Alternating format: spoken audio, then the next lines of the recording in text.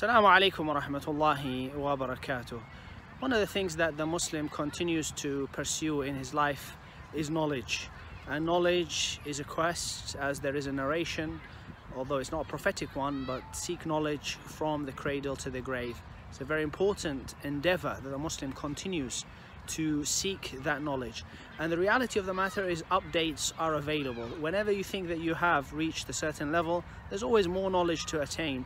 And subhanAllah, as Allah mentions, وَمَا أُتِيتُم مِّنَ الْعِلْمِ إِلَّا قَلِيلًا You've only given of knowledge, you've not been given of knowledge except a little. So it's very important that we carry on the quest of knowledge and Ramadan is an opportunity as well to learn and to gain knowledge from Allah subhanahu wa ta'ala through reading the Quran, through studying the Sunnah of the Prophet sallallahu alaihi wasallam.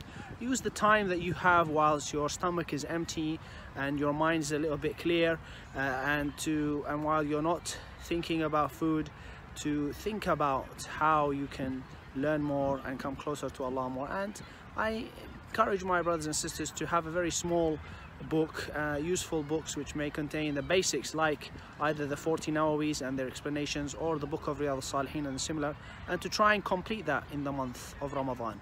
Happy reading and enjoy your knowledge.